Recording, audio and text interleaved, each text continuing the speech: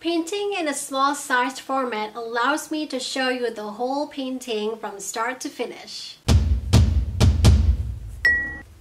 Hi, I'm Siti Nuriati from Siti Nuriati Studio. In this tutorial, I'll walk you step by step through my process of painting a lemon with a leaf with colored pencil. So let's get started.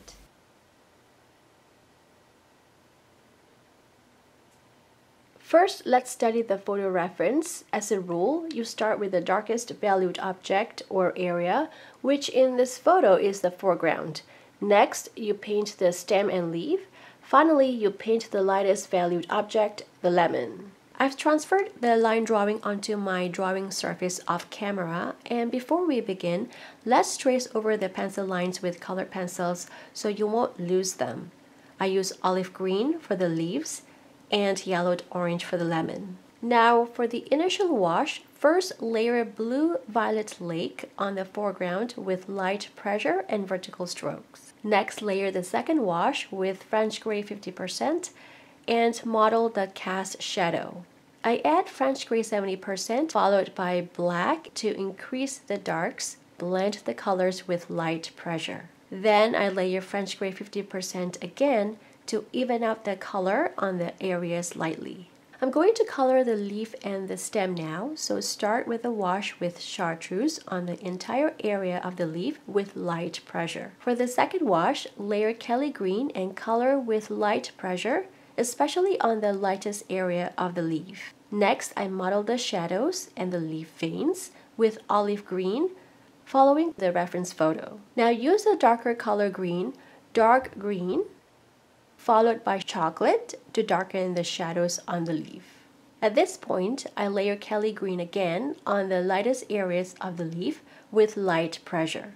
Then I go back to the first color, chartreuse, and layer the color on most of the area to brighten up the leaf a bit. I also use black to define the darkest darks on the leaf, starting from the stem all the way up. Now let's move on to the lemon.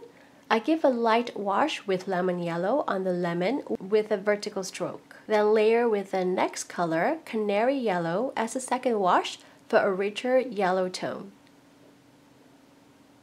I build up the lemon with more color using yellowed orange and lightly model the shadows on the fruit. Now layer chartreuse on the lightest areas of the lemon to give a hint of green.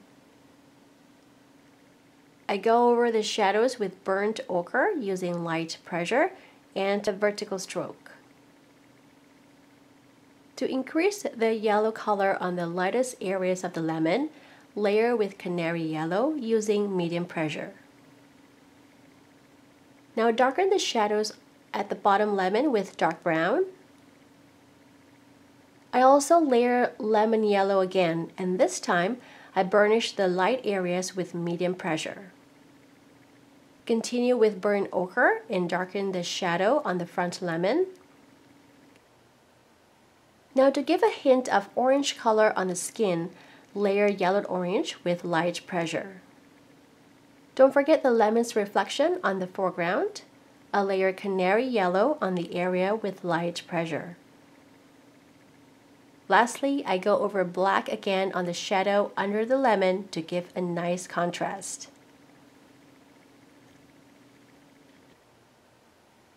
The finished painting of the lemon with a leaf. Get the free three-page booklet to start this painting today and let me know your results. Do you have questions about this tutorial? Post them in the comments below. I hope I've inspired you through this video. Share this video with your friends and subscribe to Siti Nuriati Studios blog. Let me help you unlock your creative side so you can start working towards becoming the artist you always dream of being. I'll see you next time and thank you so much for watching Siti Nuriati Studio.